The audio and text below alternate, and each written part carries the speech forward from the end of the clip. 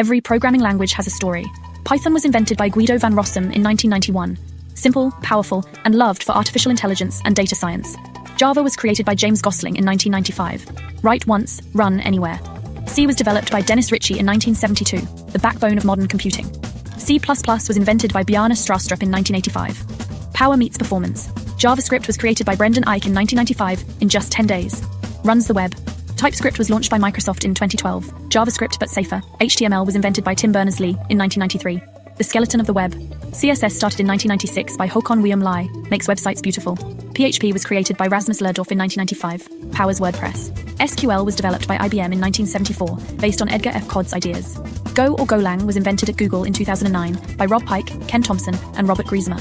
Rust was created by Graydon Hoare in 2010. Fast and memory safe. Swift was launched by Apple in 2014 for iOS apps. Kotlin was developed by JetBrains in 2011. Modern Android favorite. R was created by Ross Ihaka and Robert Gentleman in 1993 for statistics.